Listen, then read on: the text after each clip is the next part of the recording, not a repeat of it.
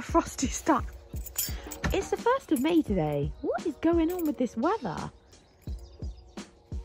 It's quite frosty. Oh, cute's waking up. Um, yeah. Uh, but the sun is coming up, which is nice. I've got about an hour to... Can't see him. He's probably having a pee knowing him. To get Coot platted, put the last few bits and pieces in the lorry, that kind of thing. Um, I'm feeling nervous. Bound to. I do look forward to that day when I wake up and I don't feel nervous. I know that's not always a good thing, but it would be nice. It would be nice not to wake up and think, ugh. Um, but it's not bad. It's, I would say, because I've worked a lot on my mindset for the last probably two weeks or since last Wellington actually. So I'd say it's probably, I like to like call it out of 10 and I'd say it's probably like a five out of 10. It's not affecting me too much, but it's there and it's irritating me. That kind of feeling. Excuse me. Um, I was saying that I don't really know why I need to feel nervous at half past six in the morning. By all means, I can. I don't mind having nerves half an hour or so. Hello, sweetheart. Before an actual competition, but you know, like three hours before. Wow, even longer than that. I don't think it's needed. Good morning, sunshine. How are you? Yes. Right, I need to get on with it.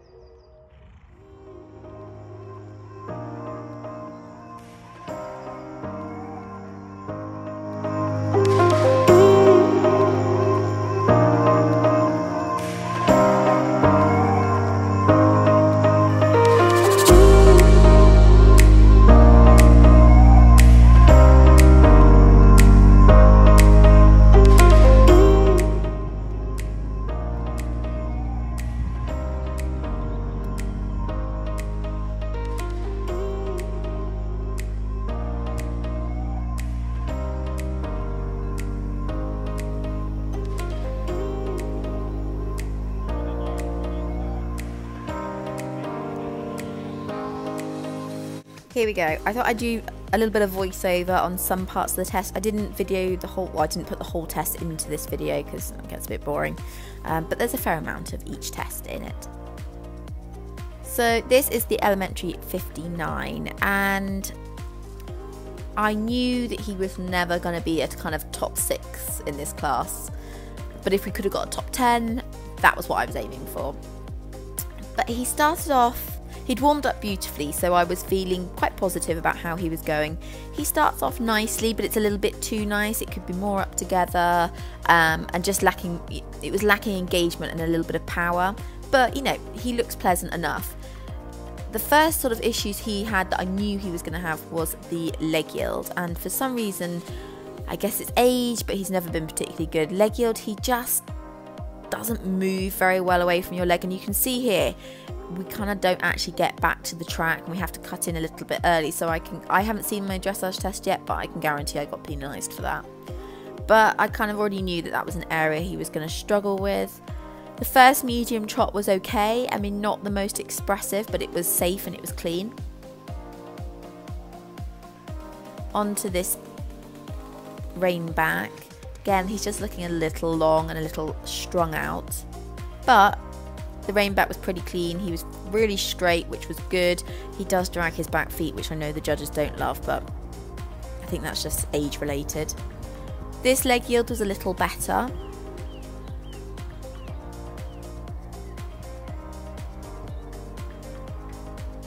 And here we hit our first major problem. The medium trot starts off okay, but you can just see he kind of just loses his behind. And then I have to put a bit of leg on to say no no don't drop off my leg. And then it just yes spaghetti legs legs go everywhere and pretty sure that's going to be about a three. So eh, with three judges marking you that's super expensive. Into the canter. Now he's really good with normally, normally with his simple changes, and but in this test you have simple changes through trot and through walk, and he just gets really pickled by that. It's like he can only do one or the other, not both. So the first one, not an issue.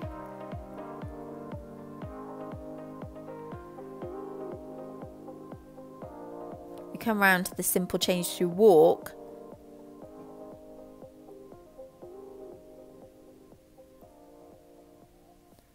it's very abrupt and he really almost halts which is not good and also not like him. He's normally very clean with simple changes. Now this is the one through simple change through trot.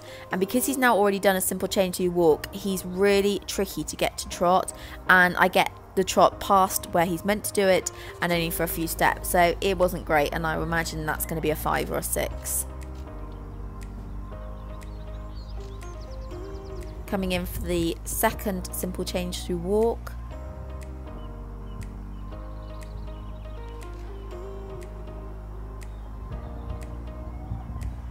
Again, almost stops, which is just so unlike him. It was I was thinking, my goodness, please don't keep it just downing tools it felt like. But I think he's a horse that gets very nervous on the inside.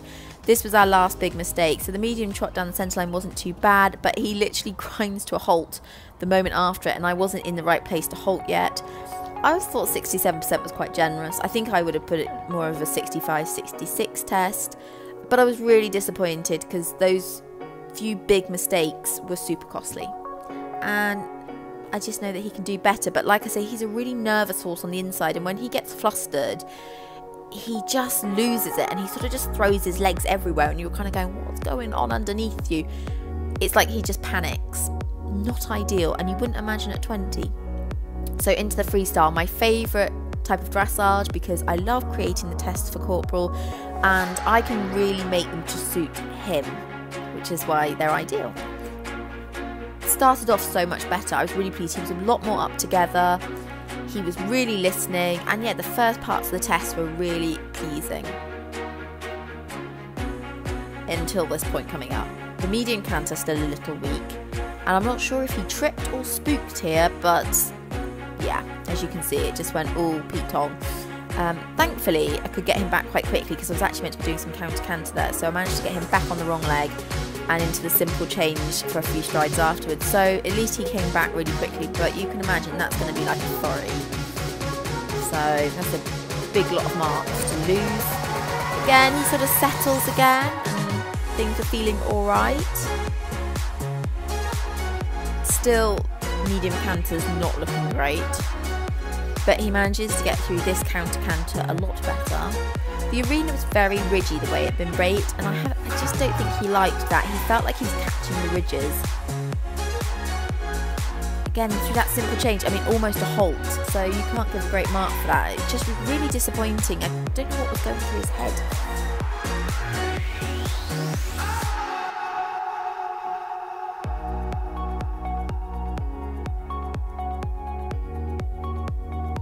Now, the big error He's meant to be trotting a 10 metre circle there, and he tries to canter for the first half of it. So, again, I'm imagining that's a three. That was really disappointing because I could kind of get away with the trip or the spook. But yeah, I was a little bit like, oh my goodness, we're just throwing marks away now. Settles again fairly quickly, but he was just, you know, when I put a little bit of leg on when I needed it, he tend to just run from it or overreact he actually made a little mistake in one of the medium trots. I'm not sure if the judges spotted it, but he did lose some balance in it towards the end. So the next medium trot, I was very cautious and only asked for a little bit and also didn't go too far, which is the great thing about doing a freestyle is you can slightly change it as you're going around if needs be. So I just did a smaller bit of medium. And towards the end, this is the final centre line, he sort of dives into that halt. I was amazed I got 69% to be honest, and he came fourth, which was even more amazing. But I think that day he could have probably won that if we were on flying form. But hey ho, horses for you.